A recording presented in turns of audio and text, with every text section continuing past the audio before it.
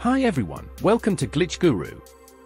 In today's video, we'll show you how to remove green check marks from desktop icons on your Windows 10 or 11 PC. Now, these green check marks usually appear when you use OneDrive to sync desktop items. If you don't want to see them, the easiest solution is to pause syncing or close the OneDrive app. To do this, click the OneDrive icon on the taskbar. If you don't see this, click the tiny arrow and then click the OneDrive option. Now, click this gear icon.